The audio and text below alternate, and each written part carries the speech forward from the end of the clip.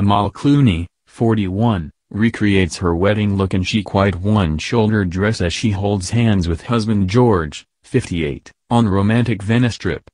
Amal Clooney recreated her wedding look when she was pictured leaving the Belmond Hotel Cipriani in Venice with her besotted husband George on Thursday.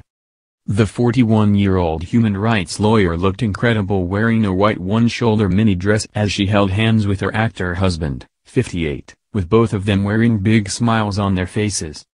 Amal, ever the fashion icon teamed her chic outfit with an oversized black sun hat and dark designer sunglasses, wearing a pair of nude crossover sandals.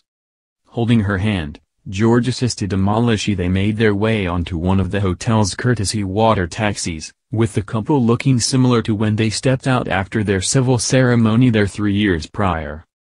George's look complemented his wife's perfectly as he wore a simple navy polo shirt and cream slacks with a pair of beige suede loafers.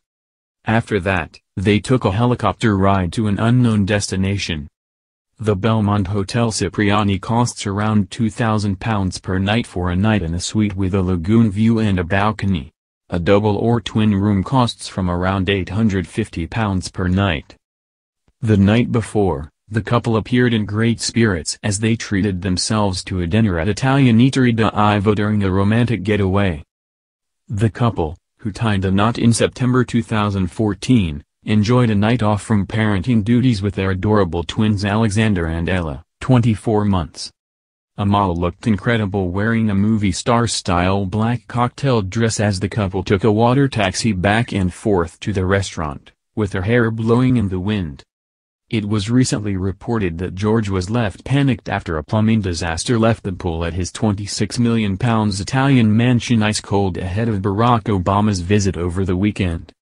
The Hollywood couple were awaiting the arrival of the former President of the United States and the former First Lady when they came to the shock realization that the pool at their Lake Como residence was half full and freezing.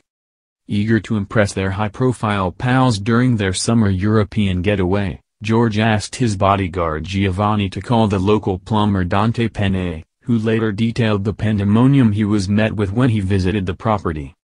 Dante was roped in at the last minute to fix the problem at hand before the Obamas made their arrival. Speaking to Corriere della Sera newspaper of his encounter with the screen star, Penne explained, What a race, I arrive and they are all upset. Giovanni says to me hurry up, hurry up. Unaware at the time as to who the Clooneys were expecting, the plumber admitted he quipped back, let me work, otherwise I won't be able to fix it. Dante's talents were put to good use and within a few minutes he was able to sort and drain the thermometer. In the work department, George recently released his dark comedy miniseries Catch-22, based on the novel of the same name by Joseph Heller.